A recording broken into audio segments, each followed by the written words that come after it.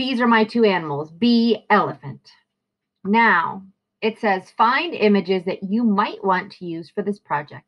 Try to use copyright free images.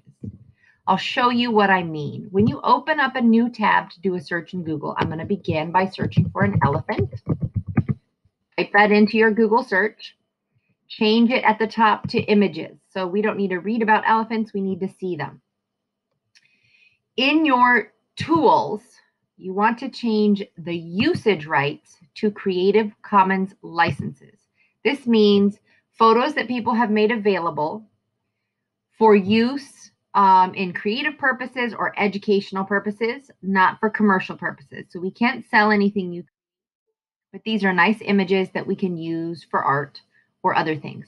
Do not select any of these. You may not make a hybrid animal with someone's drawing or with someone's clip art or somebody's artwork or whatever. I only want you to focus on actual photographs. It would also be helpful in your tools if you narrow down the size to large. That means you're going to get high quality images. Now I'm looking for something that I can put a bee butt on and have it be visible. So any of these where the elephant's butts are cropped out, not going to work. Um, anything where it's like turned away, not going to work.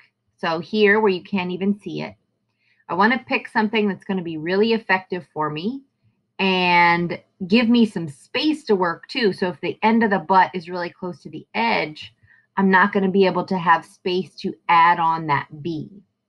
So this one is super cute. I can look at the numbers in the corner, even though they say that this is large. I would like to see the numbers here, the pixel sizes to be at least over a thousand. It also has a watermark. So try not to get um, images that have things in them like that already. I kind of like this one. So I'm going to click on it and then click on it again to follow it to its actual homepage. Now, right click and choose Save Image As. You should either put it in a folder you've created for yourself on your computer for this project, or you can just put it in your download so you'll remember where it is. And you should name it something that you will remember, like elephant, I can type, for hybrid project. Don't worry about adding a dot anything. Your computer will automatically do that for you. And then choose save. Now I need my second image as well. And as uh, luck may have it, I already found a bee that I liked.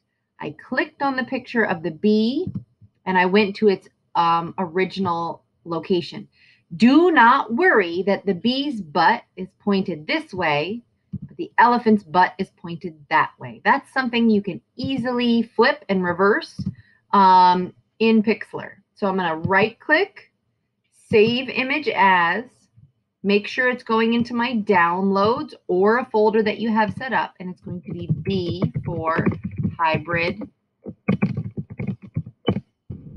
animal, and choose save.